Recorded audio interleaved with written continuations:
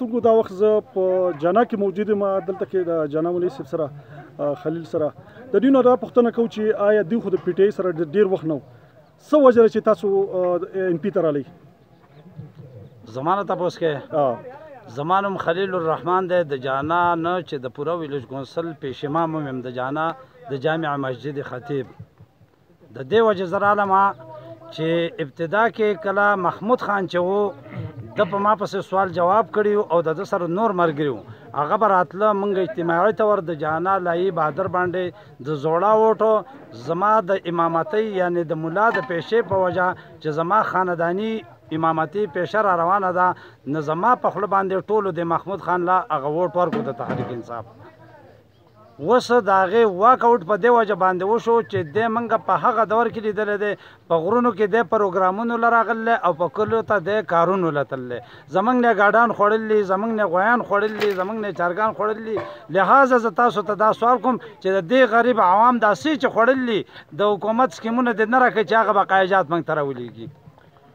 دا ستا په زړه کې ولې داسې درد و چې ته پي ټي آی پرېښوده او اېن پي ته رالې؟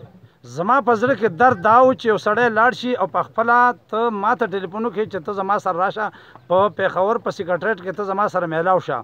درې شپې درې ورځې ده ته ما ویستلي دي. په پېښور کې په هوټلو کې مې شپې کړلي، ګاډی مې بوللی، ثبوت دی. د ميا دی د چوپريال رحيم شاه نومې دی د هغه ګاډی مې بوللې او دی به راته په يوه دروازه به راته په بله به ته په اخيره کې په ټليفونونو پي آر او نومې دی پي آر او ورسره يې په سيکرټريټ کې به سوي نو هغه ما ته ووي چې ستا سره د هغه ملاقات ګران دی ته چې کومې مطلب مطالبې غواړې نو ما يې دا سوال جواب خو ما ته هغه کړلي په درې شپې درې ورځې کې سيکرټريټ کې ما سره د ملاقات نه دی کړی اخر زما په زړه باندې لا پاسه تريخی پروت دی.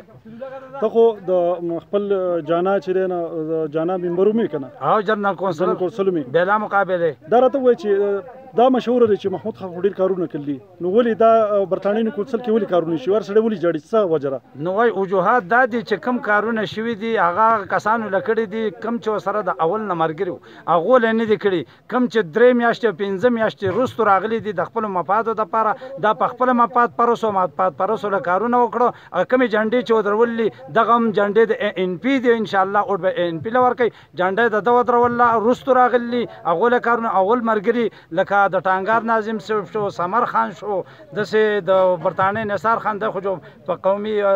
په دغه بله پارټۍ کې په هغه ډیوه کې وو د هغې نه لاړ دا کسان زاړه ورکران کم کارکنان چې دي یو په ظاهره په الله یقین وکړه د محمود خان سره مرګره نه دی په کور جانډه ودرول خو هغه پیپ په ازمای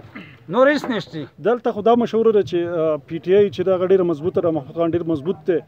نو آیا تا ستا څه وایي چې دا حقیقت دی دا نه نه نه بالکل زه د دوی امام یم په جنازو په جرګو په جماعتونو کې په ده باندې موږ قرآن قسم کړل چې محمود خان څه چې د پی ټی آی جانډی ووټ به وله ورنه کې څوک ولی ولی څه وجه ده وجوهات دا دي د دین نور ظلم نشي کېدی څومره چې د غرونو د علاقو سره کوم ظلمونه وکړو دا سي چرته نه تیر دور کې شوی دی نه پراتلونکي دور شوی یو طالبیشن کړیو او یو محمود وکړو دا غرو خو تحصیل ناظم هم دی د تحصیل ناظم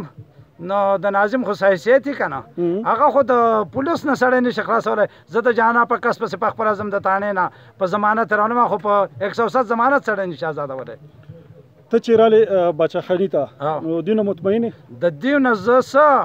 د دیو پلار نیکونه غور نیکونه فلسفه پیژنم ځکه ولر عالم او د عمران خان نه پلار پیژنم او نه نیکه پیژنم چې پلار پنجابی دی او کوم مور پنجابی ده د کوم وطن دی د کوم وطن نه دی زه د خپل علاقې د خاندانی کسانو سره ما شمولیت سره د خپل علاقې وکړو دا په دې باندې نه په ووټ نه په ستن نه په بجلی دا په غیرت او په حیا او په عزت باندې مې وکړو روان لا عمل بس تاسو صحیح را, را روان راه عمل ان شاء الله العزیز چې په برتانا یونین کونسل باندې با چې څومره